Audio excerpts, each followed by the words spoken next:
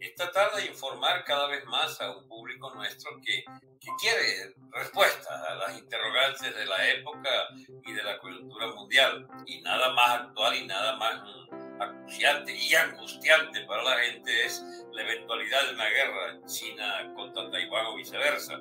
Este, bueno, yo le digo a todos los amigos que piensan en eso que duerman tranquilos y que duerman tranquilos por los próximos 10 o 15 años, porque esa guerra no es viable. No es viable por la sencilla razón de que la cordura está del lado chino y del lado de la, de la gran China, de la República Popular China, que no anda en el plan de necesitar una guerra para seguir creciendo.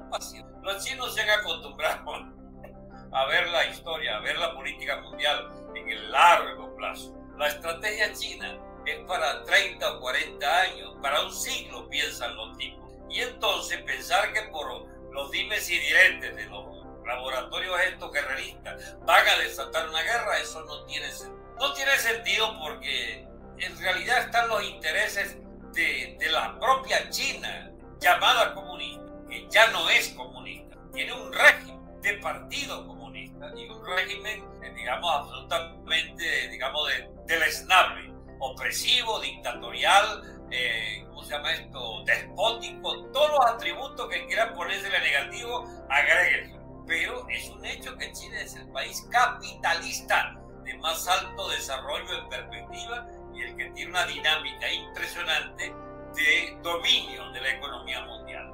China está hoy ya controlando el 20-25% de toda la economía mundial y tiene más o menos este, imparables fuerzas a los Estados Unidos materia de producción de Producto Interno Le falta, sí, este, el, poderío, militar chino no puede compararse todavía al de Estados Unidos. Eso puede tardar 10 o 15 o más años equiparar las 8.000 o 9.000, eh, este. Bombas, no tanto bombas, vehículos y, dispositivos, se llama eso, nucleares de los Estados Unidos. Solo Rusia es comparable a Estados Unidos en materia de guerra estratégica de, tipo nuclear. China está en los 4 o 5 mil, todavía le faltarían este, algunos años para alcanzar el poderío nuclear. Pero es que eso es relativo. ¿Qué, qué, qué es más fuerte? tener 300 bombas o tener eh, mil bombas. Bueno, mire, con, con 10 de ellas hacen un daño irreparable cualquiera de los dos países que se la asume uno con otro. El equilibrio del terror en materia de poderío nuclear, eso ya no hay discusión posible, porque imagínense que lo que es todavía oficial, lo último que llegó a negociarse entre Rusia y Estados Unidos, es la teoría de lo que se llama la mutua destrucción asegurada. O sea, te permito tantos eh, eh, dispositivos y bombas como aquellos que te garantice que me destruyes y te si yo te destruyo. Es decir, hay una mutua destrucción asegurada. Haber, haber hecho reinar en los últimos 20 de 30 años la tesis de la mutua destrucción asegurada es que vuelve a la edad de piedra la civilización si es que hay vida para las piedras más adelante, porque eso sería el acabose universal para todos los habitantes y seres vivos de la Tierra. Pues bien, esa perspectiva, mi amigo, una perspectiva de terror, casi que no, no sirve de nada hablar de ella. Porque, ¿De qué estamos hablando? ¿De que vamos a desaparecer todos? O sea, ese tipo de reflexiones no lleva a nada eh, a no ser la irracionalidad absoluta. Pues bien, de esas cosas discuten los señores militares de, todos los, de todas las potencias importantes. Y como eso no es posible, garantizarse la mutua destrucción porque hay que ir a la guerra nuclear, entonces especulan a qué tonto escogen, ¿entienden? Como eh, escenario de, ¿cómo se llama?, de desencadenamiento de una guerra más compleja y total. En ese caso se llaman las guerras proxy, es decir, las guerras por intermedio de otros.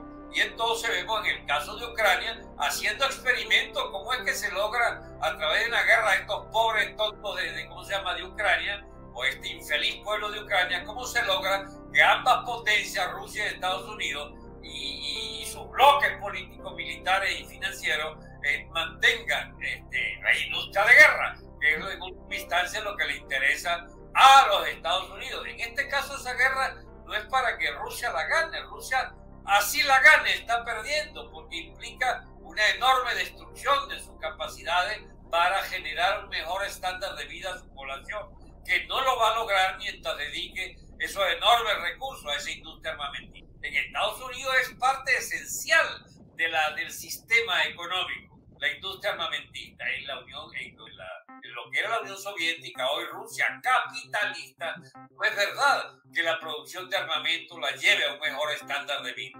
Bueno, todo esto para decirle como una introducción casi tonta y casi marginal a lo que es un problema complejísimo de qué ocurre si hay una crisis político-militar mucho más eh, desarrollada en, los mares de China. Taiwán está, es como decir, Venezuela con Margarita, pues, a distancia de Margarita está Taiwán, de, de, ¿cómo se llama?, del continente. ¿Va a desatarse una guerra allí? Yo no la veo.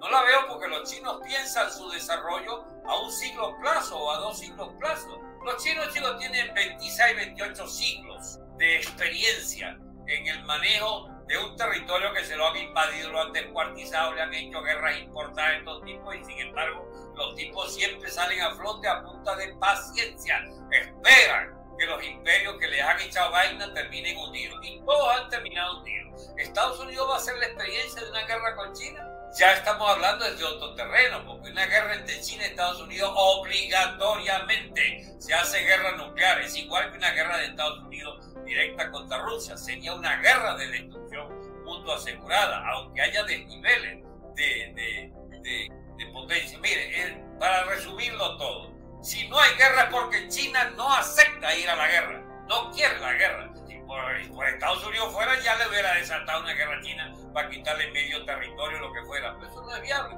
No crean ustedes que estoy inventando vainas que no, que no, de las que no se habla con sinceridad, entre diplomáticos serios cuando escriben sus cosas, como el señor Kissinger. Por ejemplo, toda la estrategia de acercamiento y finalmente de amistad eh, o de, de fingida amistad de los Estados Unidos con China viene de un interés específico de Estados Unidos de no enfrentar a China y a Rusia simultáneamente.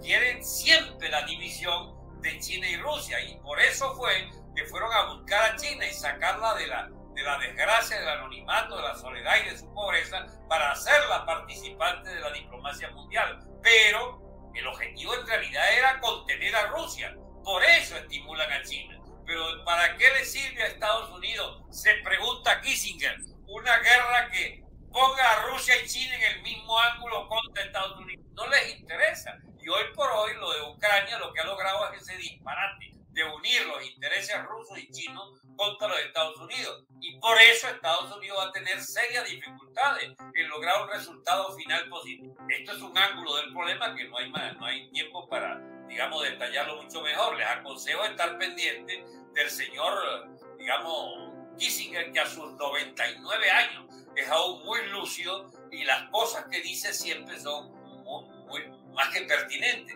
Durante 30 años él fue el que dirigió la política exterior de Estados Unidos, bajo sus consejos se hizo todo, y apenas lo apartaron los locos estos de, de, ¿cómo se llama?, de Obama y sus fundadores, bueno, empezó este, a descarrilarse la política hacia China. Hoy por hoy, esos aires, esos vientos de guerra que sacuden el extremo oriente, es porque, bueno, han hecho, han hecho no viable, pero sí han acercado el escenario un conflicto. Y ese conflicto es mortal para los Estados Unidos y, paréntesis, mortal para toda la humanidad si eso llegase a efecto. Por lo pronto, hasta ahí.